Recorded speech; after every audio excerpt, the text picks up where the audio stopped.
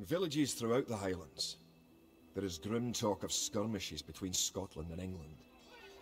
We lost the town of Dunbar this week. Scottish defenders broke ranks and fled. The English have an army that is larger and better trained. To compete with them, we are going to need new recruits to pick up spear, sword and bow.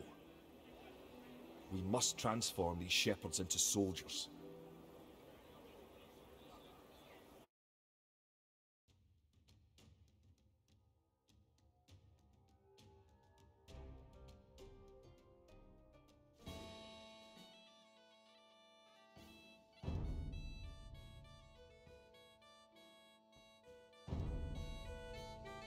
We will need many soldiers to defend our homeland. To win, you will need to create Rob four militia. We'll start by creating villagers. Click your town centre.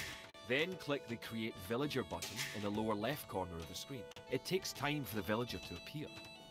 If your town centre is selected, you can see your progress in the status area at the bottom of your screen. Kid, bitter. Oh. Cow. Good job. Cat. The villager has appeared next to your town centre. Rob Create another villager. Kid. Rob Wigger. You need additional housing to support your population.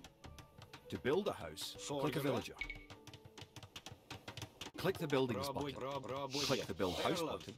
Then click where you want to build the house. Good job.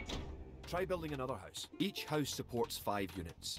The population indicator at the top of the Oh. screen shows your current and supportable population. Other buildings are made just like houses.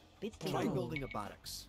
The barracks is a Rob military Wigger. building. Barracks Wigger. complete. Now you can create soldiers. Click the barracks, then click the create militia button. Selecting different buildings or units gives you different options in the lower left corner of the screen. If more than one villager builds a building, it will go up faster. That's one militia unit. Create three more, and you'll have enough soldiers to Hello. protect this area and win the scenario. Click the barracks, and quickly click the create militia button three more times to make three soldiers in a row. Cat. Bitter. Now that you have a few soldiers, Hello. You'll be able to Rob defend Wigger. this area against Target. English oh. Kid. attacks. Bitter. Kid. Hold. Forgare. Now that we have militias stationed across the border, the English have slowed their raids. But facing Longshanks' army will be another matter. The wicked English king is yet to bring his famous longbows to bear. Our militias can only get us so far. We're going to need more advanced weapons.